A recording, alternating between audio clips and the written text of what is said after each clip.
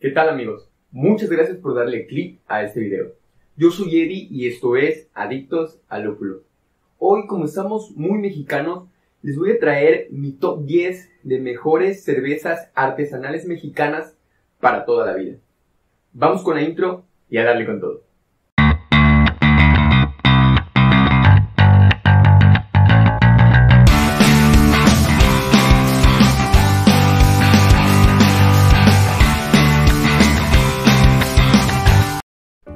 Bien, este video es una segunda parte de mi top 10 de mejores cervezas para toda la vida. Los voy a dejar de ese lado. Solo que en esta contraparte voy a hablar más específicamente sobre cervezas de México. Y no con esto quiero decir que voy a mencionar las que para mí son las mejores cervezas artesanales de México.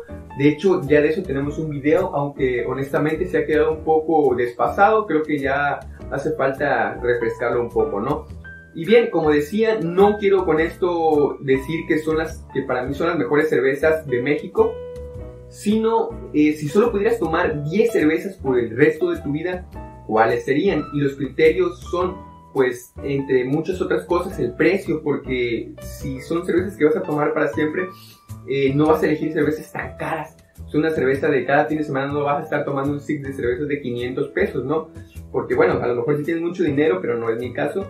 Eh, eh, sería también la variedad de estilos, porque pues obviamente no todos los fines de semana se nos antojan las mismas, los mismos estilos y a veces como en mi estado, Tabasco, que hace muchísimo calor, pues no queremos algo tan, algo tan alcohólico, algo tan de sabores tan fuertes, sino buscamos algo más refrescante, algo más ligero, ¿no? Entonces, eh, darle variedad a los estilos es importante y también en este caso eh, darle variedad a los lugares donde son elaborados estos productos porque en México hay excelentes cervecerías en todo el país, no nada más en Tijuana ni en el centro.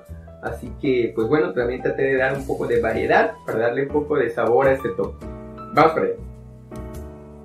Antes que nada, vamos a destapar una buena cervecita, como ya saben que es justo. Y esta es una Stout artesanal mexicana que viene de Aguascalientes, de compañía cervecera Aguascalientes. Muchísimas gracias a mi amigo Roberto Méndez que me la trajo desde, desde allá. Y pues bien, hablando de Aguascalientes, de allá también es mi buen amigo Luis Mora del canal Beer Metal, se los voy a dejar por ahí en la descripción del video, que hace también videos para YouTube de cerveza. Así que, pues bueno, algo de sobrecarbonatación, esperemos que no se tire. Y vamos a empezar el top. Bien, vamos a comenzar como les decía con algo bastante ligero y refrescante. Y por lo mismo nos vamos a transportar hasta las hermosas playas de Cancún, Quintana Roo, de la cervecería Gran Arrecife Maya, con su Tulum Lager, que es por supuesto una pale lager de 4% de alcohol por volumen, es una cerveza bastante ligera, precisamente pensada para estar en estas hermosas playas, con el buen solecito, el calor y disfrutando de, ya saben, de las delicias del mar y una buena cervecita. Algo que me llamó mucho la atención de esta cerveza es que no es tan fácil que en México se pueda, bueno, que podamos encontrar lagers eh, o, o esos estilos de cervezas tan parecidos a los europeos, a los alemanes, a los checos. Normalmente, ah, mucha gente piensa que las cervezas lager son cervezas sencillas, la verdad es que es todo lo contrario, hacer una buena lager es algo difícil, eh, pues nada más empezando porque son normalmente cervezas filtradas, ¿no? Se, tiene que utilizar algún tipo de floculante para que la cerveza quede cristalina, brillante. Y esos sabores tan pulcros, la verdad, no cualquier cervecería logra una lager tan deliciosa como es esta Tulum Lager. Vamos haciendo. Vamos a probar esta cervecita, amigos.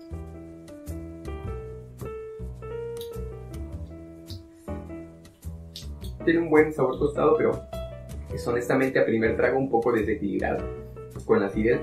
Pero bien, en nuestro número 9, la poderosísima Pineapple Express de Madueño. Nos vamos hasta Tijuana, Baja California, hasta el norte. Bien, esta cervecería goza de una gran popularidad y es una Hazy IPA, antes conocidas como Neipas, y es una cerveza que, wow, increíble, es una cerveza sumamente cítrica y rápidamente de verdad es que lo logra emular en, nuestro, en nuestros paladares esos sabores a la piña, wow, eh, tan refrescantes, a la vez tiene una buena golpeada, tiene 7.5 grados de alcohol por volumen y 60 IBUs, es una cerveza que no es juguete, no es para bromear, no es para tomarla a la ligera, es una cerveza sumamente refrescante, cítrica, jugosa y es un golpe de sabor a la boca. Vamos con la siguiente. En nuestro número 8 nos vamos totalmente al lado opuesto, nos vamos al sur de México, por supuesto a San Cristóbal de las Casas Chiapas, con uno de los estilos que honestamente más me encantan. Sin embargo, no puse más cervezas de ese estilo porque de verdad aquí en Tabasco muchísimo calor, aquí se antoja algo refrescante. Y bien, nos vamos hasta San Cristóbal de las Casas con los geniales Jules, una cervecería que conocí hace no mucho tiempo, pero me voló la cabeza con su poderosísima Gun Club, que es una increíble Imperial Stout de poderosísimos 10 grados de alcohol. Déjenme decirles que se sienten y se resienten después. Es una cerveza honestamente impresionante.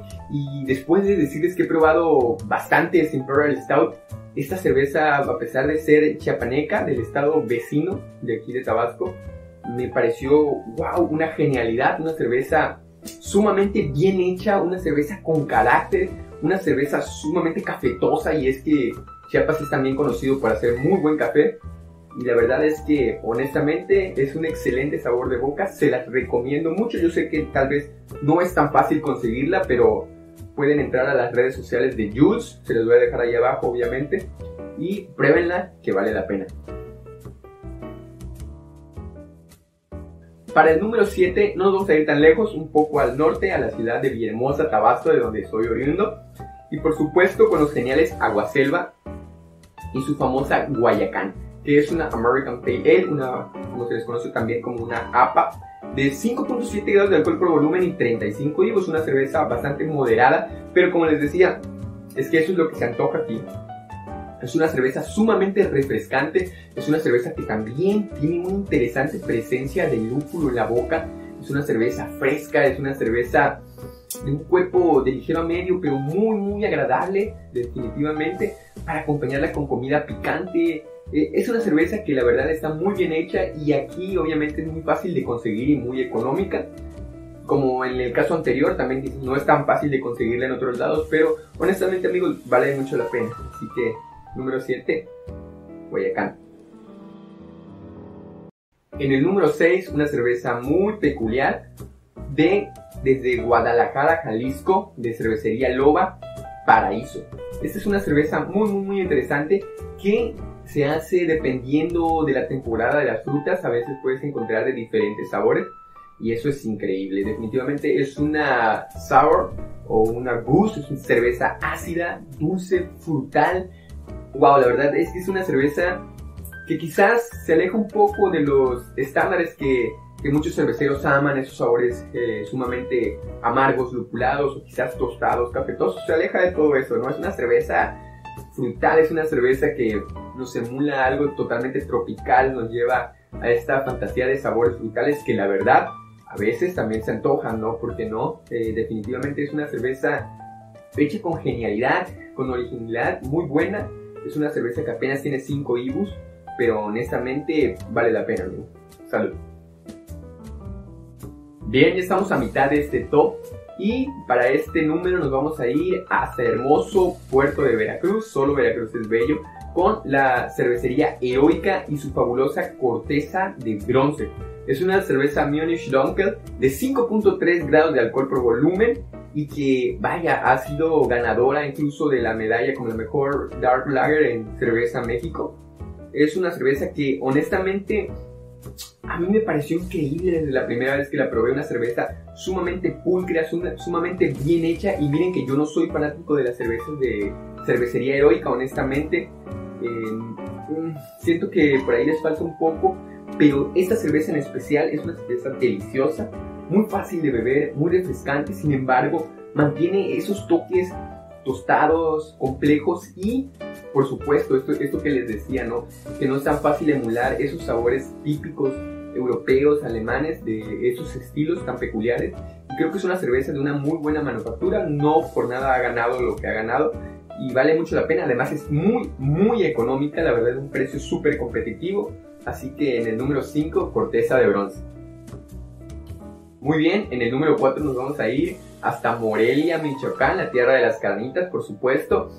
Y esta vez algo de Shakua, la tocino maple amber. Yo sé que el nombre suena a una locura, de hecho ya tengo una reseña de esta cerveza. Honestamente el, nombre suena a un disparate, es una Red Ale de 6.5 grados de alcohol por volumen.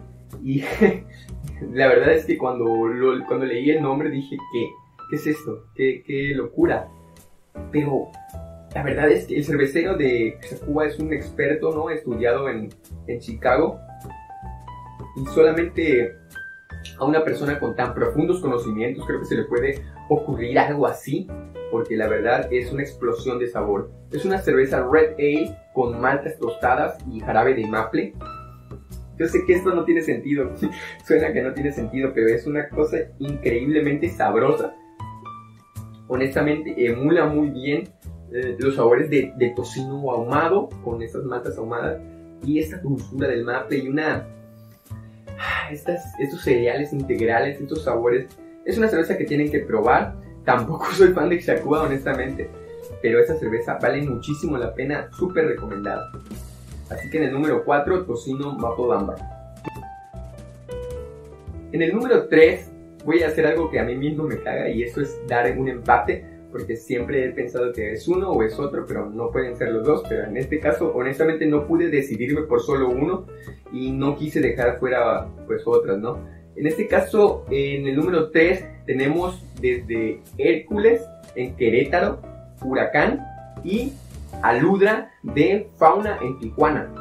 Wow, son cervezas doble, dobles Hazy IPAs, dobles Neipas, como se conocía antes, de 8 grados de alcohol por volumen, son cervezas fuertes, son cervezas ciertamente son un poco son bastante diferentes entre sí aunque son el mismo estilo y traen el mismo alcohol por volumen. Y, honestamente no pude decidirme por uno. Por un lado la de Hércules es una cerveza sumamente refrescante, cítrica, tiene una buena pegada de alcohol, aunque no es presente en boca, pero se siente.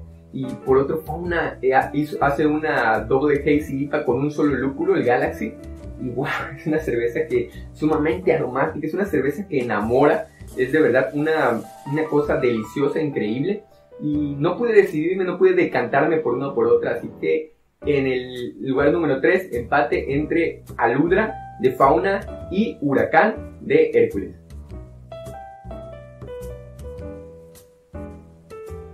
Ah, salud amigos.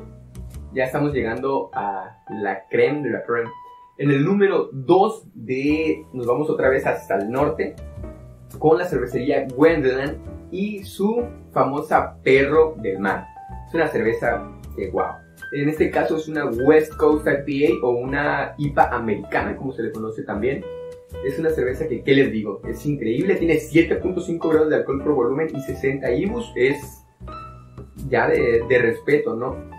¿Qué les puedo decir de esa cerveza? Eh, tiene un hermoso color, es una cerveza filtrada, dorada, sumamente te enamora. Ciertamente hubo un tiempo en el que yo subestimaba mucho esa cerveza por la falta de pegada, porque era una cerveza filtrada, por muchas cosas, ¿no? Sin embargo, he podido entender lo que quieren hacer estos señores de Wendland con esta cerveza y es ofrecer es ofrecer un producto pues, más llegar más fácil de tomar, es, es, es una entrada al, craft beer definitivamente y con precios extremadamente competitivos. Esta cerveza la encuentras en el súper, en todos lados, es una cerveza de muy buen precio que puede adquirir cualquiera, no se va a los extremos y también desde que la sirves ves una cerveza totalmente dorada, cristalina, pura y los sabores no son demasiado agresivos pero son presentes esta cerveza honestamente me recuerda a la 60 Minutes IPA de Dogfish Head, se los voy a dejar por acá por este lado.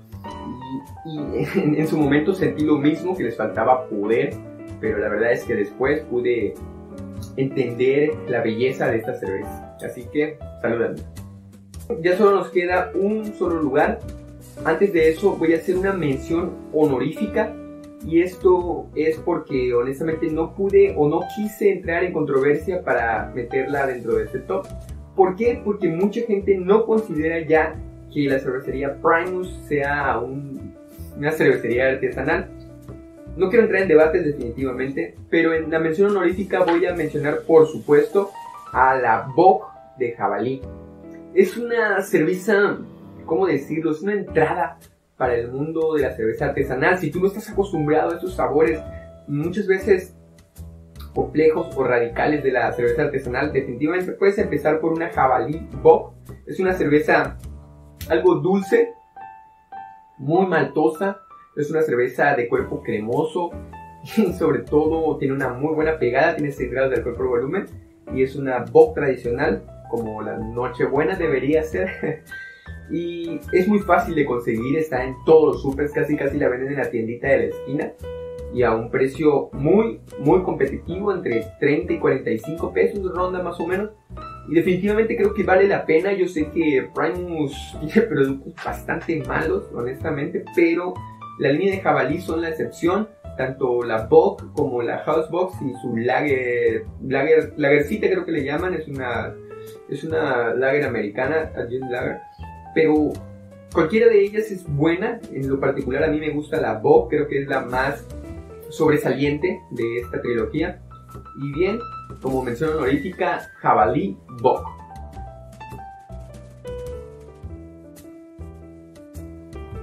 Muy bien amigos, llegamos al final de este top y en el número uno nos iremos hasta Monterrey, Nuevo León, con la cervecería, por supuesto, Principia y su increíble Extra Solar. Extra Solar es una Hazy IPA, antes conocidas como NEIPA, de 6.5 grados de alcohol por volumen, pero guau, esta es una cerveza definitivamente increíble que me voló la cabeza la primera vez que la probé y en ocasiones posteriores que la he probado definitivamente me he quedado fascinado con la calidad, la relación calidad-precio que es, parte también del, del concepto de este video, ¿no? El relación calidad-precio y que es muy fácil de beber, es una cerveza levemente amarga, muy jugosa, muy tropical, es una cerveza de aromas fascinantes de esta textura casi láctica, es una cerveza cremosa y, sobre todo para hacer una Hazy IPA de esta calidad, la verdad es que no solo necesitas agua, malta, lúpulo y levadura, sino para hacer este tipo de cervezas necesitas a veces este, otras cosas como lo son avena, eh, trigo y por supuesto grandes, grandes, grandes cantidades de lúpulo, lo que encarecen bastante este producto y a pesar de eso es una cerveza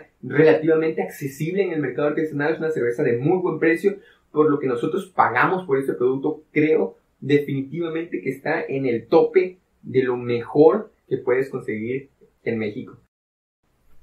Bien amigos, eso fue todo. Espero que les haya gustado el video y si es así, no olviden darle like, comentar y compartir todo lo que quieran para que ayuden al canal. Ya estamos apenas en los primeros 500 suscriptores, así que ayúdenme a llegar a esa meta.